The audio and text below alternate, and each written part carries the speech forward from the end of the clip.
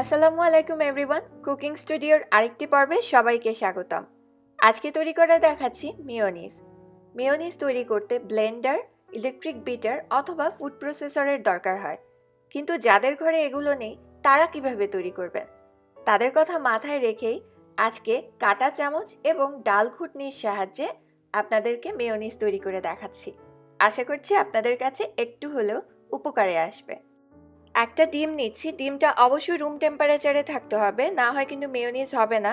তাই ফ্রিজে থাকলে এক ঘণ্টা আগে বের করে নর্মাল করে তবেই মেয়োনিজটা তৈরি করতে হবে। কোয়ার্টার চা চামচ গোলমরিচের গুঁড়া আর কোয়ার্টার চা চামচ পরিমাণ লবণ দিলাম। আধা টেবিল চামচ পরিমাণ লেবুর রস দিলাম। আধা টেবিল চামচ পরিমাণ সাদা ভিনেগার বা সিরকা দিলাম। দিচ্ছি এক চা চামচ পরিমাণ মাস্টার্ড পেস্ট মাস্টার্ড পেস্টের পরিবর্তে আপনারা সরিষা, লাল বা কালোটা নিয়ে গুঁড়া গুঁড়ো ব্যবহার করতে পারবেন। চিনি দিলাম আধা চা চামচ। এখানে আমি একটা টাওয়াল ভাজ করে বাটিটার একটা কর্নার থেকে দিয়ে দিচ্ছি। এতে করে একটা সাইড একটু ঢালু থাকবে আর সেই ঢালু সাইডে ডিম আর অন্যান্য উপকরণ জমে থাকবে। এতে করে কাটা চামচের সাহায্যে ভালোভাবে এটাকে মিশিয়ে নিতে সুবিধা হয়। এখন এক দুই মিনিটের জন্য প্রথমে ডিমের সাথে এই উপকরণগুলো মিশিয়ে নিচ্ছি। মেয়নিজ তৈরি করার আসল ধাপ এখন থেকে শুরু হবে। তাই আমি একটা স্টপ ওয়াচ চালু করে দিচ্ছি। এতে করে আপনাদের বুঝতে সুবিধা হবে যে আসলে আমার কতক্ষণ লাগল এই কাটা চামচ দিয়ে বিট করে মেয়নিজ তৈরি করতে। এখানে আমি এক কাপ পরিমাণ সয়াবিন তেল নিয়েছি। আপনারা চাইলে অলিভ অয়েলও ব্যবহার করতে পারেন। তেলটা একবারে মেশাতে যাবেন না, তাহলে কিন্তু মেয়নিজ হবে না। একটু আস্তে আস্তে সময় নিয়ে একেবারে সুতার মতো চিকন করে তেলটাকে ফেলতে হবে। তাই একদিক থেকে এই তেলটাকে বাটির মধ্যে ফেলতে হবে। এবং অন্য দিক থেকে কাঁটা চামচের সাহায্যে বিট করতে থাকতে হবে। তেলটা দেওয়ার শুরু থেকে শেষ পর্যন্ত বিট করা বন্ধ করা যাবে না, তাহলে কিন্তু মেয়নিজটা হবে না, তেলটা জায়গায় জায়গায় জমে যাবে। অনেকেই কমপ্লেইন করে যে মেয়নিজ তৈরি করার পরে এর ভেতর থেকে তেলের একটা গন্ধ আসে। সেই কারণে চেষ্টা করবেন সরিষার গুঁড়া অথবা মাস্টার্ড পেস্ট ব্যবহার করতে। এতে করে গন্ধ আসবে না। আর আমি আজকে এই তেলটা মিশিয়ে নেওয়ার জন্য এক্সট্রা হাত হিসেবে আনায়ার বাবার হাতকে ধার এনেছি। এতে করে আসলে তৈরি করা অনেক ইজি হয়ে যায়, তাই বাড়িতে যেই থাকবে তাকে আপনাকে হেল্প করতে বলতে পারেন। প্রায় পাঁচ মিনিটের মতো সময় লেগেছে তেলটাকে পুরোপুরি মিশিয়ে নিতে। এখন আমি আরও কিছুক্ষণের জন্য বিট করব। এতে করে এটা একটা ঘন কনসিস্টেন্সিতে চলে আসবে। টাইমিংটা ডিপেন্ড করবে আপনার হাতের স্ট্রেংথ কতটুকু, আপনার বিট করতে কতটুকু সময় লাগে। আমার প্রায় সাত মিনিট লেগেছে, আপনাদের কম বা বেশি সময়ও লাগতে পারে। এবার মেয়নিজটাকে আমি কাছে থেকে দেখাচ্ছি। এটার কনসিস্টেন্সি কিন্তু সেই কিনে আনা মেয়নিজের মতো অতটা ঘন হবে না। যেহেতু এতে কোনো ইলেকট্রনিক্স কোনো কিছু ব্যবহার করা হয়নি তৈরি করার সময়, তাই আমার ক্ষেত্রে এর থেকে ঘন হয়নি। আপনাদের হয়তো আরেকটু ঘন হতে পারে।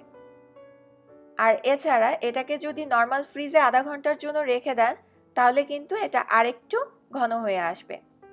তো এটাকে আমি নর্মাল ফ্রিজে রেখে চলে যাচ্ছি ডাল ঘুটনি দিয়ে মেয়নিজ তৈরি করতে। আমি ওই একইভাবে একটা ডিম, সেই সাথে অন্যান্য উপকরণ নিয়ে নিচ্ছি। এবার দরকার পড়বে একটা ডাল ঘুটনির, যেটা আমাদের সব বাঙালিদের ঘরেই আছে, তাই না? এখন প্রথমে ডিমের সাথে সব উপকরণগুলো ওই আগের মতো করে এক দুই মিনিটের জন্য মিশিয়ে নিচ্ছি। এবার স্টপ ওয়াচটা চালু করে দিলাম। আমি একদিক থেকে ঘুরতে থাকব আর অন্য দিক থেকে একটু একটু করে তেল মেশাতে হবে। আর যখন আপনারা ডাল ঘুটনি দিয়ে তৈরি করবেন, তখন কিন্তু নিচে এক্সট্রা টাওয়ালের দরকার নেই, কারণ এই ক্ষেত্রে বাটিটা ফ্ল্যাট থাকতে হবে। আমি কিছুদিন আগেই একটা কেকের রেসিপি শেয়ার করেছিলাম, যেখানে ডিমের ফোম তৈরি করেছিলাম, আমি এই ডাল ঘুটনির সাহায্যে। সেখানে অনেকেই জিজ্ঞেস করেছিল যে এই একই পদ্ধতিতে মেয়নিজ তৈরি করা সম্ভব কিনা। এরপরে আমি ট্রাই করলাম এবং আমার কাছে রেজাল্টটা যথেষ্ট ভালো মনে হলো, সেই কারণেই আপনাদের সাথে এই ভিডিওটা শেয়ার করা। ও হ্যাঁ চুপি চুপি একটা সিক্রেট শেয়ার করি। আপনি ডাল ঘুটনি দিয়ে করেন বা কাঁটা চামচ দিয়ে করেন, যেভাবেই করেন, হাত কিন্তু একটু ব্যথা করবে। তবে ব্যথা করলেও যখন রেজাল্টটা দেখবেন যে আপনি সাকসেসফুল হয়েছেন মেয়নিজ তৈরি করে, তখন কিন্তু অনেক শান্তি লাগবে। আমার প্রায় আট মিনিটের মতো লেগেছে। আর এই দুটোর মধ্যে আমার যেটা মেইন পার্থক্য মনে হলো যে ঘুটনি দিয়ে একটু বেশি ঘন হয়েছে আর কাটা চামচ দিয়ে তুলনামূলকভাবে একটু পাতলা হয়েছে।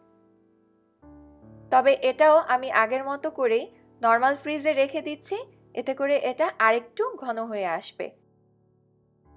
ফ্রিজ থেকে বের করার পরে ঠিক এই টাইপের কনসিস্টেন্সিতে এসেছে, যেটা কিনা তুলনামূলকভাবে আগের থেকে একটু ঘন হয়েছে। যেহেতু এতে কোনো এক্সট্রা প্রিজারভেটিভ নেই, তাই নর্মাল ফ্রিজে এয়ারটাইট কন্টেইনারে ভরে প্রায় পাঁচ থেকে ছয় দিনের মতো আপনারা রাখতে পারবেন। এর থেকে বেশি না রাখাই ভালো। আশা করছি আজকের পর্ব একটু হলেও আপনাদের উপকারে আসবে। উপকারে আসলে আমার পরিবারের জন্য দোয়া করবেন। এরকম আরও রেসিপি পেতে আমার চ্যানেলটা সাবস্ক্রাইব করবেন। সবাই খুব ভালো থাকবেন। বিদায় নিচ্ছি। আল্লাহ হাফেজ।